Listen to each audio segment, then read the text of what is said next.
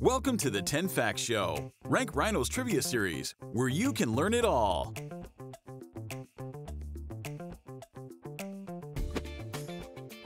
Billie has been breaking records ever since she started releasing music.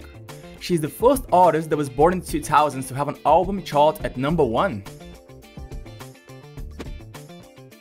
Both of her parents, Maggie Baird and Patrick O'Connell, are in the entertainment industry. As you can tell by their names, she has Irish and Scottish heritage.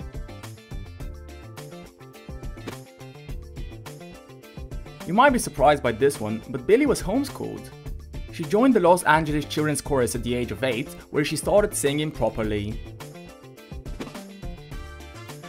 It was obvious that the pop star was going to be a singer very early on.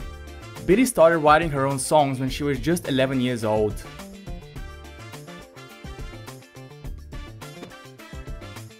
She released her first single, Ocean Eyes, in 2016. Her brother Finneas, who is also a musician, helped her release the song on the platform SoundCloud. Her favorite TV show is The Office, and she's included it in her music. She used a sample from one of the show's episodes in her song, My Strange Addiction.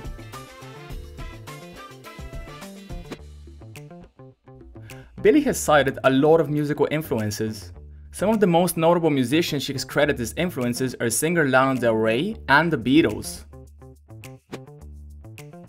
She used to wear extremely oversized clothing before she reached the age of 18, as she didn't want to be body shamed or judged for her body by people on the internet. She's quite fond of the horror genre. Some of Billie Eilish's favorite movies and TV shows include The Babadook, American Horror Story, and The Walking Dead.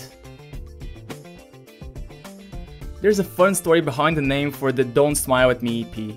Apparently, Billie hates when people smile at her and she feels obliged to smile back.